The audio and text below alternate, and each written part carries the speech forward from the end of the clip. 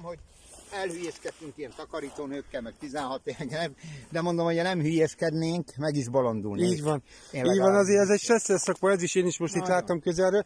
De azt mondd meg, hogy a papsárdor anyag hogy sikerült, mennyire vagy Extra. elégedett vele. Olvasgattam, lájkoltam. De ugye nem én írtam, tehát azt ugye Varga László írta, írta, jó. mondjuk Jó. el, Ha jó, akkor jó.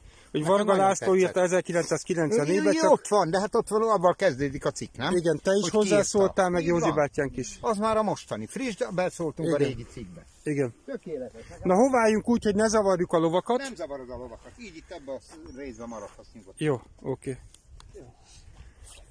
Hát van itt a